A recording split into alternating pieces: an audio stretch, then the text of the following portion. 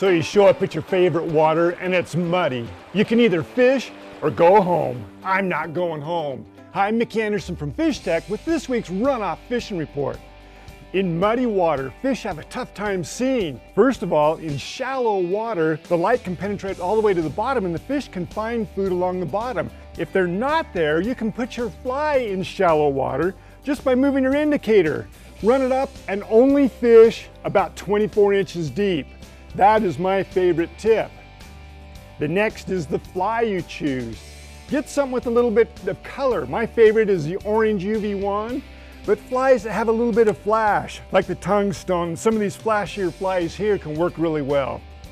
The next is a silhouette. The fish will look up. You want a dark image against that bright sky. Now they can't see really well, so give them a bunch of casts. Fish the hole slow. Keep throwing and throwing and throwing through the same water. Give them a chance to find it. If they're in slow water and they're taking your fly, sometimes your indicator will just barely move because the water's moving really slow, it'll move your fly slow. The fish takes it, your indicator barely shakes. If you see any movement at all, especially on a shallow rig, set the hook. Hey, hopefully these muddy water tips can help you out, but for these tips and a whole lot more, come on down to Fish Tech. And now for tonight's fishing line.